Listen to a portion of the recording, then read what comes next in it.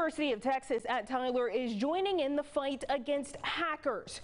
Dr. Kim Nimon, the interim chair of the Department of Human Resources and Development, received a grant from the National Science Foundation to help create a program dedicated to addressing the gaps in the cybersecurity workforce. The program will help train graduate students in cybersecurity and artificial intelligence techniques.